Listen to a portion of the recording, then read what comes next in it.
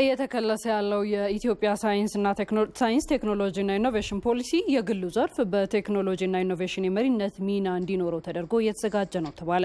ኢኖቬሽንና ቴክኖሎጂ ሚኒስቴር የሳይንስና ቴክኖሎጂና ኢኖቬሽን ፖሊሲ ክለሳ ረቂቅ ላይ ከባለድርሻ አካላት ጋር በመወያየት ግብዓት እየሰበሰበ ነው። ስራ ላይ ያለው ፖሊሲ ስራ ፈጠራን ማዕከል ያላደረገ የግሉ ዘርፍ በቴክኖሎጂ የመሪነት ሚና እንዲኖረው ያላስቻለና የቴክኖሎጂ ልማት ከኢኖቬሽን ጋር በሚፈለገው መልኩ ያላስተሳሰረ በመሆኑ ነው ክለሳ የተደረገበት። የኢኖቬሽንና ቴክኖሎጂ ሚኒስትር ዴኤታ ዶክተር አህመዲን መሐመድ አዲሱ ፖሊሲ ቴክኖሎጂና ኢኖቬሽንን በመጠቀም የኢኮኖሚ ማሻሻያ ግብ የሆኑትን የስራ ዕድል ፈጠራ ማሳካት፣ የውጭ ገቢን ማሳደግና ሀገራዊ ብልጽግናን ማምጣት ታሳቢ አድርጎ የተዘጋጀ ነው ብለዋል። ረቂቅ ሰነዱ የግሉ ዘርፍ በቴክኖሎጂ መሪነት ሚና እንዲጫወት የሚያስችል መሆኑንም ነው የጠቆሙት። ከፌዴራል ተቋማት ከሙያ ማህበራትና ከግሉ ዘርፍ የተውጣጡ ባለድርሻዎች በረቂቅ ሰነዱ ላይ ውይይት እያደረጉ ነው።